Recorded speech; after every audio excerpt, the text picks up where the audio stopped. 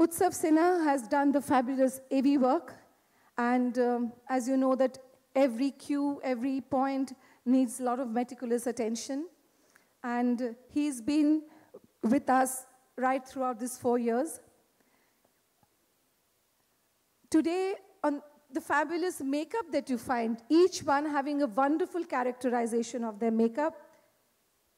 Ashok Parmarji, who's from Hyderabad. I think Hyderabad owes a huge round of applause for the kind of makeup that he's done for us. Thank you, Ashok Parmarji, and the Aye, entire team.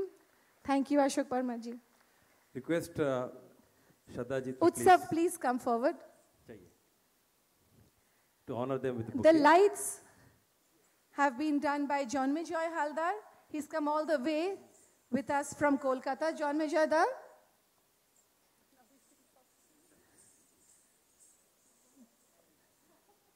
Uh, where's John Mejoy Dal? Could we have you here? And I would save the closest to my heart who've, who have really been with me right from the inception of the thought of doing this.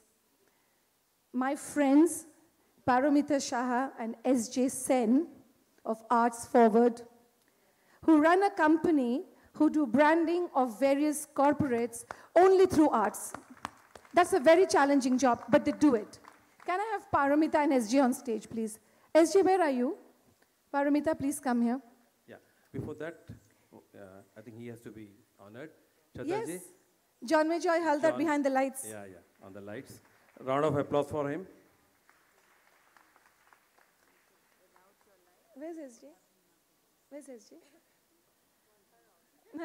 Yeah, yeah, yeah. And So, uh, Paro, one more one. every backstage activity, every little emotions, Let's every little letdowns, Saha. every little positive things.